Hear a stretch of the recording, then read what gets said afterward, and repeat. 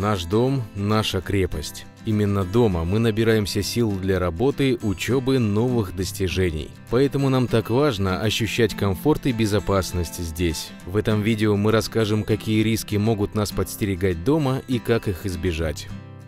Даже обычные розетки могут представлять опасность. При их выборе обратите внимание на наличие защитных шторок. Они открывают путь только для штепселя, что особенно важно для семей с детьми. Во влажных помещениях обязательно установите розетки с защитными крышками из специального прочного материала. Некачественный пористый материал может заполниться влагой, что чревато поражением электрическим током даже от простого прикасания к розеткам.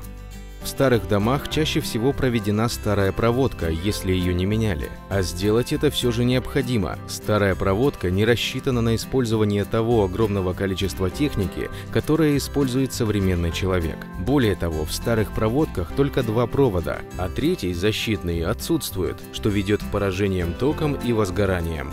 В обычных щитках, как правило, установлены автоматы базовой защиты, которые защищают от перегрузки и удара электрическим током. Но, к сожалению, они не способны защитить технику от перегорания вследствие скачков напряжения, аварий в сети, ударов молний. К повышениям напряжения чувствительны 90% бытовых устройств, особенно электроника. Один из способов обеспечить комплексную защиту – установка реле напряжения и УЗИПов. Иногда лампочка в нашем доме или квартире как будто гаснет или наоборот загорается ярче. Знакомая ситуация? Это следствие повышения или понижения напряжения питания в сети. А теперь представьте, что происходит с вашим дорогим телевизором. Его блок питания в такой ситуации может легко сломаться. Реле напряжения позволяет уберечь чувствительную электронную технику от нестабильности электрической сети. При повышении напряжения в сети реле автоматически отключит электронные приборы, а при возвращении напряжения в норму реле автоматически возобновит питание. Когда будете делать ремонт в квартире, спросите у электрика, предусмотрел ли он защиту от удара током и защиту техники. Это может спасти не только ваше имущество, но и даже жизнь.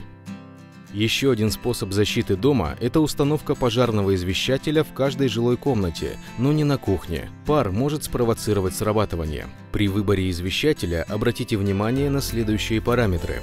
Наличие светового индикатора, сигнализирующего об исправности аппарата. Подача сирены не менее 4 минут при обнаружении очага пожара. Время работы от одного элемента – год и более.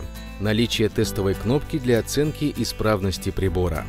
Важно сказать, что задача извещателя – привлечение внимания окружающих к очагу возгорания. Даже при том, что вызвать экстренные службы придется самостоятельно, вовремя замеченный пожар гораздо легче устранить. Позаботьтесь о безопасности вашей семьи, не откладывайте это в долгий ящик.